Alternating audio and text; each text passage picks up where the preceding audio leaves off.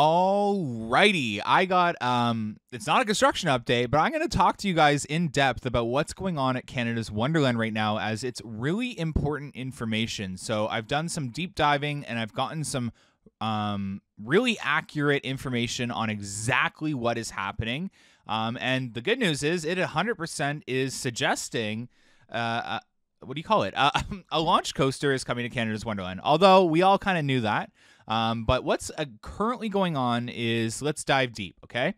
So, first of all, um, I can confirm that the four of these groups are currently on property at Canada's Wonderland working on this project. So, you have Bros Group, Electra, Hartwell, which has been working on site with Canada's Wonderland for a while, and Smith and Long, who also has a long standing relationship with Canada's Wonderland. Um, essentially, uh, Smith and Long is the group working on the supercapacitor um, side of things. Hartwell is working on the basic electric needs of the park. Um, and Electra, did I, sorry, I meant Hartwell is working on the basic electric needs. Electra was the people that came in and cut the power to the city from the city to Wonderland on this half of the park.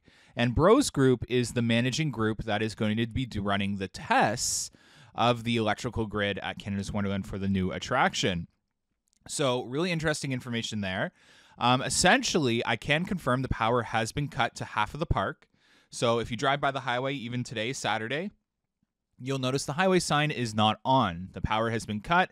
This is going to be the way I, from my understanding, for about a week, a couple days to a week, as they work to upgrade what they call supercapacitors. Essentially, um, what a supercapacitor is is it's a unit that stores power and then can charge and release that power very rapidly. So, for example, a ride like Maverick um, can charge uh, in about 20 seconds between launches. Um, so that's really cool. That's essentially like the main key sign that this is a launch coaster that Wonderland is working on and uh, it'll be really interesting to see where the other capacitors get installed. So they're going to be installing capacitors outside the park at that um that unit rate where it connects to the city power, and there should be some that get built right at the ride. So that leads me to think that this is kind of the area that we will see those, just maybe inside the mountain, so we won't be able to get to see that. But um, we have heard that the current thing being built there is um, one of the launches or launch buildings.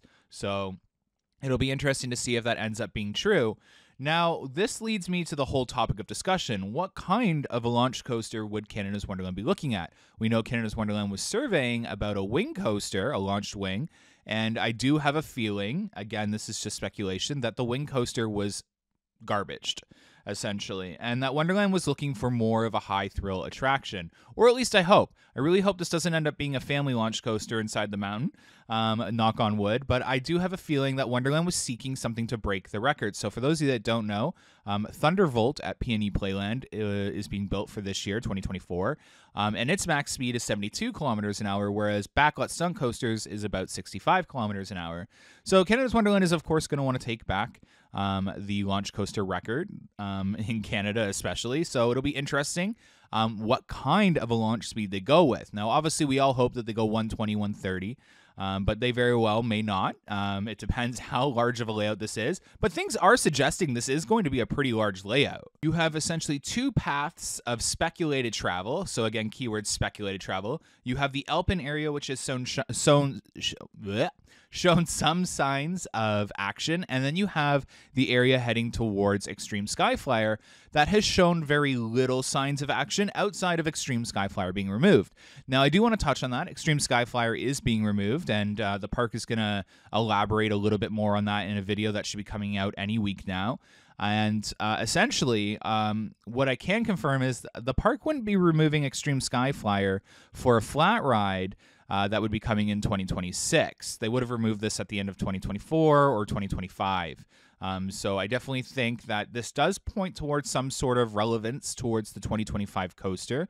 But again, this project is one of the most confusing projects I've covered But again, with that being also said, I haven't covered that many projects out of Yukon Striker and Snoopy's Racing Railway.